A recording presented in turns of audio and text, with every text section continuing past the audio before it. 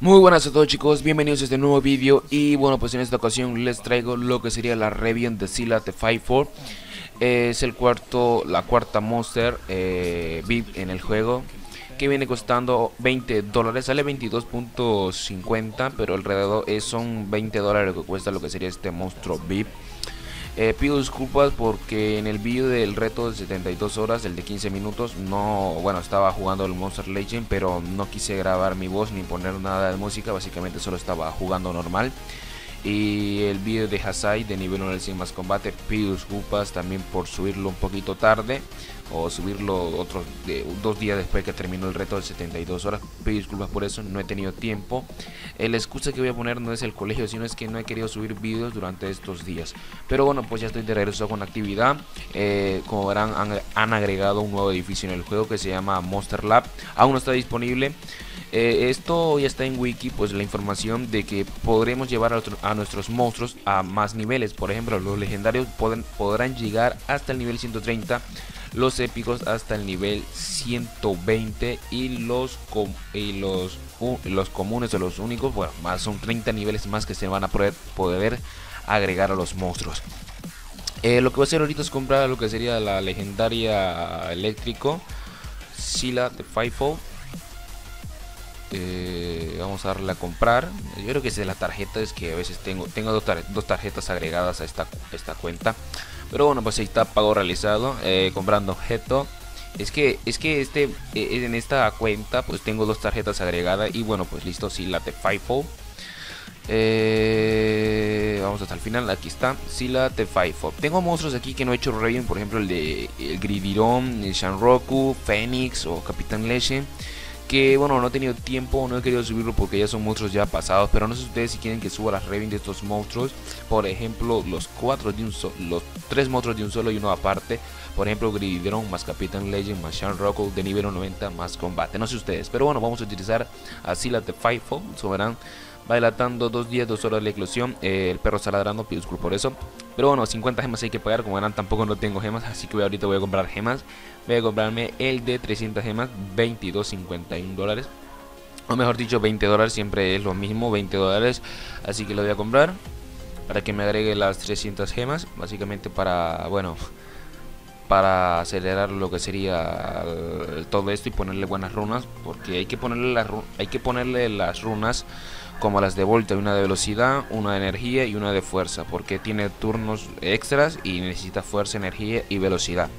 Así chicos, aquí les doy con la review, pero antes de la review, antes de alimentarlo y los combates, les quiero pedir una meta para este vídeo, lleguemos a mil me gusta para este vídeo de la review de Sila de Fightful, así que ustedes podrán llegar a los mil me gusta. Eh, al final del vídeo no voy a mandar saludos, no tengo tiempo para mandar saludos, pido disculpas por eso. Pero al final del vídeo voy a dar mi opinión sobre este monstruo VIP. Así que ahora sí aquí los dejo con review de Sila de FIFO de nivel 1 al 100 más combate.